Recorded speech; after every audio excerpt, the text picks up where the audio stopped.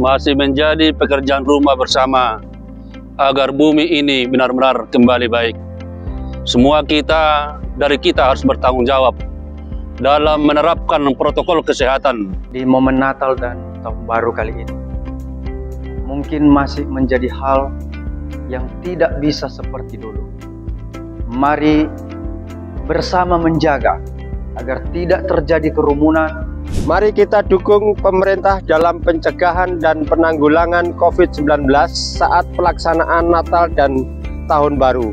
Lakukan vaksinasi COVID-19 dua dosis atas nama PGID Kabupaten Tebo mengucapkan selamat Natal dan menyambut tahun baru kepada umat Kristen yang ada di Kabupaten Tebo dan Provinsi Jambi juga umat Katolik.